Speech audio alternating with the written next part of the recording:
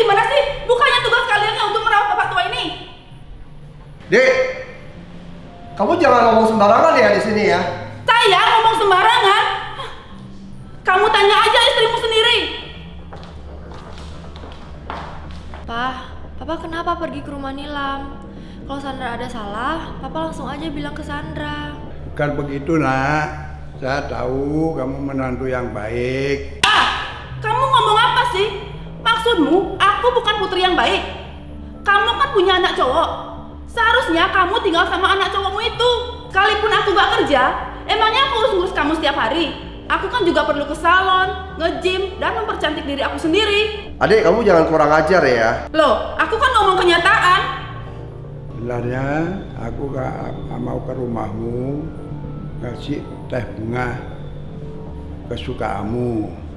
Bukan mau ngerepotkan kamu. Oh, cuma mau nganterin teh bunga aja.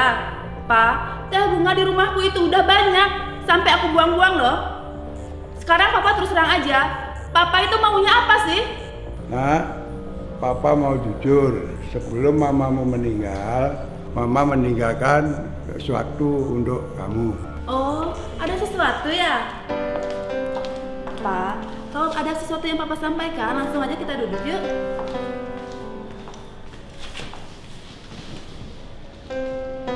Pak, kenapa nggak bilang dari tadi? Papa tuh harus adil ya. Dulu, sewaktu mama masih hidup, mama tuh lebih sayang sama aku. Jadi bagian aku tuh lebih banyak ya, Pak. Pak, peninggalan Mama lebih baik jangan dibagikan. Itu buat Papa aja untuk kenang-kenangan. Iya benar, Pak. Oh, kamu nggak mau ya? Ya udah, mulai sekarang papa tinggal sama aku aja. Pak, mulai sekarang papa tinggal sama aku ya. Nanti aku yang bakal jagain papa. Nilam, bukannya tadi papa kan ke rumah kamu. Kamu bilang kamu sibuk banget, nggak bisa rawat papa. Setidaknya aku tuh lebih pintar ngerawat papa daripada istri kamu itu. Istri kamu itu kan bukan istri yang baik. Pak, bener kan Pak? Sebenarnya papa ngomongin apa sih Pak? Sebenarnya mamamu tuh meninggalkan surat utang. Hah? Surat utang? Belum mamamu meninggal, hidup kita selalu miskin. Papa dan mama banyak utang. Sampai sekarang belum lunas. Eh, stop, stop, stop. Gak usah ngomong lagi deh. Surat utang, aku ini anak perempuan. Gak patut kamu bebankan soal utang. Kalau soal utang, kamu cari aja anak laki-lakimu itu ya. Kamu ya, Apa kamu-kamu? Saya ini anak perempuan dan saya sudah nikah keluar. Seperti air yang udah mengalir keluar. Jadi saya itu gak patut dibebankan sama hutang ya. Cari aja anak laki-lakimu itu. Udah ya, aku mau keluar dulu. Aku lagi sibuk. Nilam, papa mama melahirkan kamu, merawat kamu dari kecil, membesarkan kamu, bahkan memberikan kamu kuliah sampai perguruan tinggi. Dan biaya pernikahan pun papa mama yang berikan semua. Anak-anakmu, papa mama yang merawat. Apakah kamu sudah lupa semua itu? Kamu masih manusia atau bukan sih? Pak, lihat anakmu itu. jangan panggil aku papa. Aku nak punya anak kayak kamu. Nilam, kamu ada nilai apa manggil papa? Kamu ngerti nggak orang tua itu kita sebagai anak harus membayar hutang budi kita dibesarkan. Bukan untuk kamu permainkan.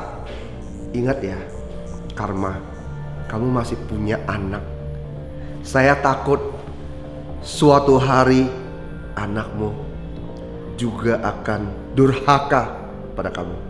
Udah kalian jangan ribut lagi. Anakku, janganlah bicara lagi. Kita ini semua satu keluarga. Saya ini udah nikah keluar. Jadi saya ini bukan keluarga kalian lagi ya. Kamu Ya, sebenarnya mamamu tuh tidak ninggali utang. Mama takut papa nyusahkan kalian. Ke depan siapa yang merawat papa ini yang berhak menerima uang ini. Hah? Anakku, menantuku, inilah buat kalian. Pah, uang ini papa simpan aja ya.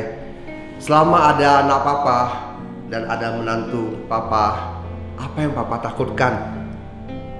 Jikalau berbakti dan uang itu menjadi pilihan, Maka kami memilih untuk berbakti pada Papa.